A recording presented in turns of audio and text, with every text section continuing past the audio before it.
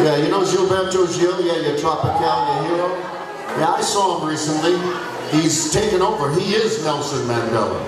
That's right. He looks just like him. I don't know, we went into some sort of like recreation machine and one of them dies and the other one just pops out. I don't know how it works.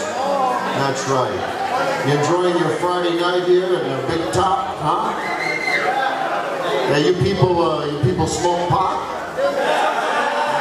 I thought that'd get your attention. Yeah. Well, yeah, uh, that's right. Well, yeah, your cousin Jim here smokes pot. He sits around the house, smokes a little pot, drinks a little beer, plays a little music. But he smokes the good stuff, fellas. That's right. Not that stuff laced with LSD, because it'll drive you out of your mind. That's right. That's right. You know all about tropical fish down here, do you?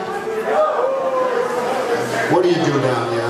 You have Chinese factories moving in here? That's right, you're gonna have some noodles for lunch every day. You, you like fried rice? Well, you're gonna like it. You're gonna be up all night eating fried rice at some point if you don't watch out. That's right. They'll come in here, they'll take your land. That's right. Then you'll have the Russians in here, the Indians, you know, the Americans have been here for God knows how long. I don't know what they're doing. They're not even really people. That's right, I like that kind of effect. Can We do that again, people. Yeah, that's nice.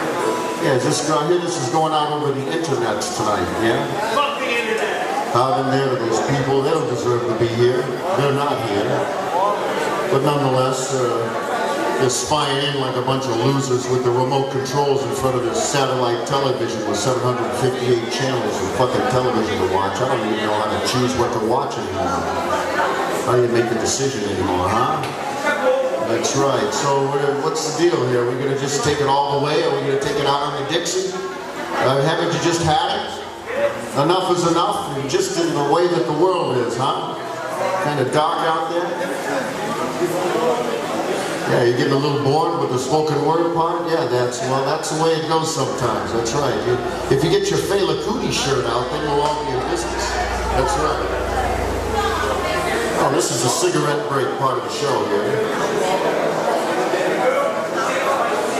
That's right. Well, you know, well, I'm going to do a little talking because a lot of you people are out there doing your own little talking, so I'm going to do a little talking here. I'm going to do some smoking.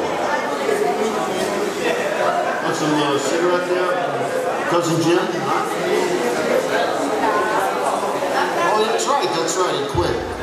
My God, what's this world coming to? You want electronic? There you go, Donald. That's all you're sorry I missed. You know, I always try to hit the target. You know?